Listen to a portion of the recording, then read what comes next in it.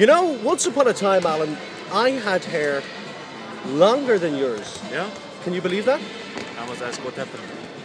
God decided I was too handsome.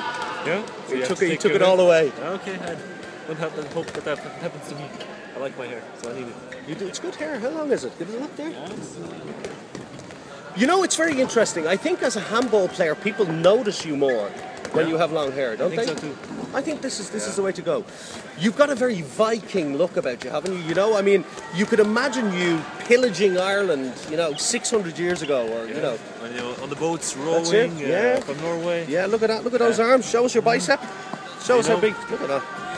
We have to be careful Taking here. We don't. Europe, taking Europe. Taking our women. No, Europe. Women was your your choice. Come here. Speaking of taking Europe, Montpellier, difficult times. Let's not talk about it.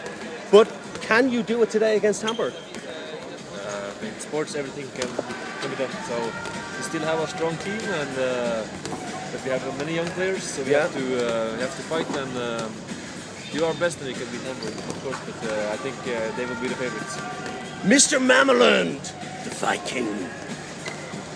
Scream. Ah.